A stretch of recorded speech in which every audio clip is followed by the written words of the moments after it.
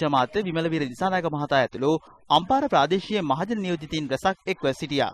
අලි එළවණෙක් කාට කරන්නේ මේ සතා අනිවාර්යයෙන්ම අපිට ප්‍රහාරයක් එල්ල කරන්න එනවමයි ඒගොල්ලන්ගේ වාසස්ථානයෙන් අපි ගලවනවා. එතකොට අපිට අපේ ආරක්ෂාව සපය ගන්න ස්ත්‍රී පතුරුම අපිට අවශ්‍ය වෙනවමයි. ඒක නම්බර 4 නෙවෙයි.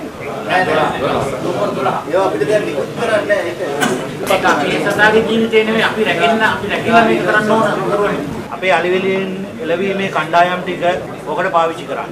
පාවිච්චි කළා යම් කිසි එක යූස් කරොත් අපි ඒක දැනුම් දෙන්නම් ආරක්ෂක අමාත්‍යාංශයට අපේ අධ්‍යක්ෂ ජෙනරාල්තුමා හරහා මේ පතුරන් මේකට යූස් කරා කියලා. ඊට පස්සේදී ඒක අපි රික්වෙස්ට් කරගන්න. දැන් මේ ඔක්කොම පක්කම පාය මාර්ගය උදලා ගියදී අලි ගමේ ඉන්නවා හැම රායකම ගෙවල් කඩනවා මිනිස්සු මරනවා මොකද විසිරුවා ඒ තීලාර බලපෑම කොච්චර දාලා තිබුණා දැන් ඒ කට්ට විසිරලා නෑ මට ජී දෙපාර්තමේන්තුවේ නිලධාරීන් කාරණේ මට ජීවිත ආරක්ෂා කරන්න එකයි භූමිය ආරක්ෂා කරන්න ඒගොල්ලෝ කියන්නේ වෙන රාජකාරියන්නේ අද මේ පැටලිලා කියන මේ අපි මේ ගන්න තීරණ ප්‍රායෝගික වෙන්න බෑ.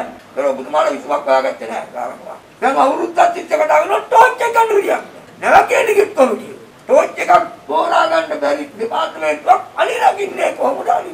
කිලෝමීටර් 8500ක් අලිවට රකින්න ආරලා කානිනදාරි ජිප් අරව වෙන පොඩි කීදාක් වෙනන් කරුවත් අලියා ඉන්නේ ගමේනේ. ඒක එහෙම කරන්න බෑ. ඒක ටෙක්නොලොජි එකක් තියෙනද ඒ ටෝච් එකේ මෙහෙම පිටිපස්සට තල්ලු කරනකොට ඉන්න තැන නෑ නෑ නෑ. ඔය ඔය එකක්වත් වැඩක් නෑනේ. ඒ ටෝච් ලංකාවේ නෑනේ. ටෝච් ලංකාවේ තමයි තියෙන්නේ ටෝච් ගන්න කියලා මේ ඉතින් එන අලියා වාහන ඉල්ලන්නෙත් නෑ. මහා මන්දිර ඉල්ලන්නෙත් නෑ. ඌට ඕන කණ්ඩායි වසු ටිකයි ඉන්න තර ඒක අපිට දෙන්න බැරි නම් ඒ අලියා එනවමයි.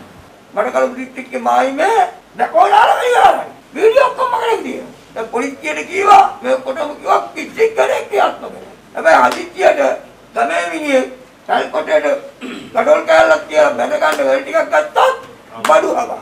ඒක එක්ක සංවිධානයක නෙවෙයි ඒක මේ කාරණේ ඉතා බරපතලයි. අවුරක් තරහ වෙන්න එපා මම වීඩියෝ එකක් අරගෙන අදාළ නිලධාරියෝ ඔක්කොම වගුත්තර කරුවා